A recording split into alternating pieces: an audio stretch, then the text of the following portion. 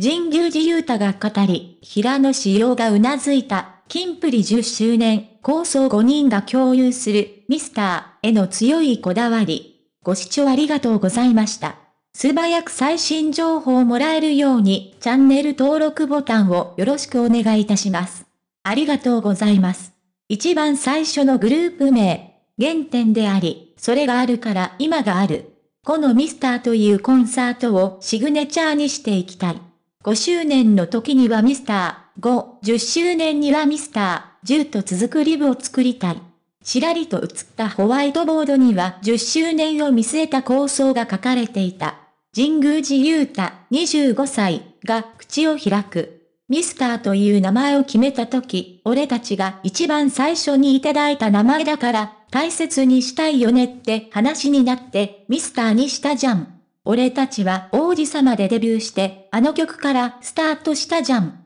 真摯にうなずく4人。これは、昨年春に行われたドームツアーの DVD、 King & Prince First Dome Tour 2022 〜Mr.〜の特典ドキュメンタリー映像の一幕。 King & Prince、以下キンプリのメンバーでの会議の様子だというが、この約半年後に神宮寺、平野紫耀26歳、岸優太27歳の脱退が決まるとは、この時誰も予想していなかったのかもしれない。キンプリの原点は、平野、長瀬廉24歳、高橋海人24歳のミスターキングと岸神宮寺、岩橋玄樹、26歳のミスタープリンスからなるミスターキング VS ミスタープリンスという期間限定ユニットだった。神宮寺さんが話していたように5人はミスターという名前に強いこだわりがある。昨年のツアータイトルのみならず、デビュー5周年を記念して4月に発売したばかりのベストアルバムをミスター5と名付けたのもその単語が原点だという思いがあるからでしょう。芸能関係者、ミスターキング VS、ミスタープリンスでデビューをしたい6人に人一倍こだわっていたのが他でもない平野だったという。2017年に同じ舞台に揃ったタイミングで思いを確認し、愛平野さんがジャニーさんに6人でデビューしたいと直談判し受け入れてもらったというのは有名な話です。脱退という選択をすることにはなりましたが、彼のメンバーの思いの強さは変わらないはずです。別の芸能関係者。平野の葛藤は、神宮寺が語った王子様でデビューと無関係ではないようだ。週刊 TV ガイド4月19日発売では、当時はどこへ行っても王子様と言われて正直恥ずかしかったし、危機感を感じてましたと率直な心境を明かしていた。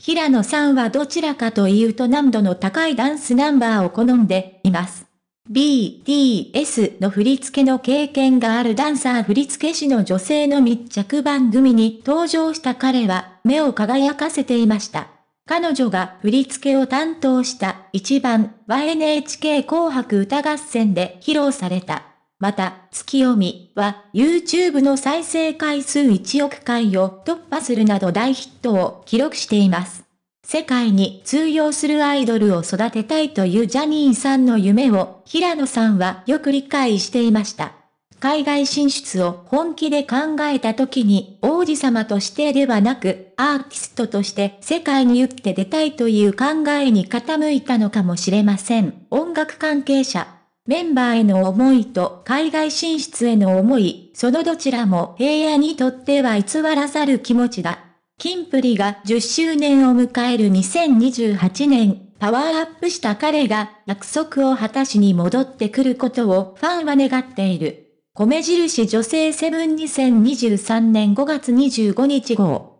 ご視聴ありがとうございました。素早く最新情報をもらえるようにチャンネル登録ボタンをよろしくお願いいたします。ありがとうございます。平野志陽さんプロフィール1997年1月29日生まれ、愛知県出身。圧倒的なセンスのダンススキルや歌声を持つ一方、チャーミングな発言とのギャップで多くのファンを魅了する。ご視聴ありがとうございました。